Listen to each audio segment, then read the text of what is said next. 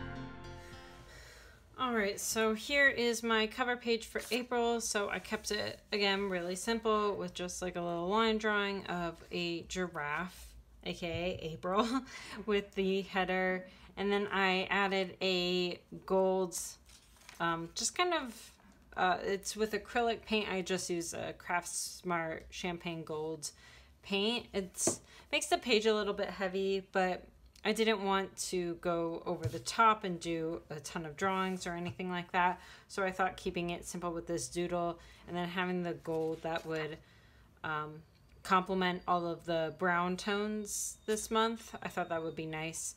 So I'm going to go over with a second coat. I just don't really have time for this recording to do so. The next page I have is a gratitude page. This is going to replace my um, one line a day page which I do often use as a gratitude page, but with everything going on, moving, wedding, etc., I just needed to have a place to uh, doodle out some positive things that are going on. And then, of course, I have a master list, which I'm not going to fill out now because it'll depend on what my master list is for before and whatever I come up with for my quarterly goals. So that is all together there. And then I have a calendar set up. I'm doing a lot of um, traveling kind of this month. So I'm going to go ahead and use this Simply Gilded Washi. Um, maybe it's not traveling so much as training. So I'm just going to mark in the several weeks that I have training and any other time I have some sort of travel, I'll mark it in with this Simply Gilded white and gold dotted washi tape. I thought it was pretty appropriate given the theme.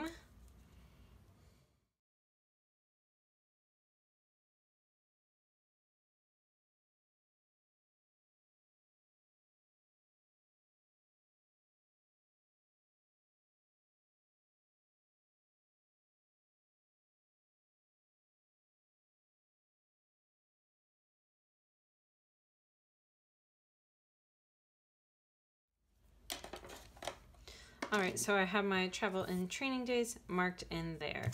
So I decided not to full on color, color this um, uh, giraffe print type thing. I decided to do the outlines to mimic my first page because I really liked how that looked.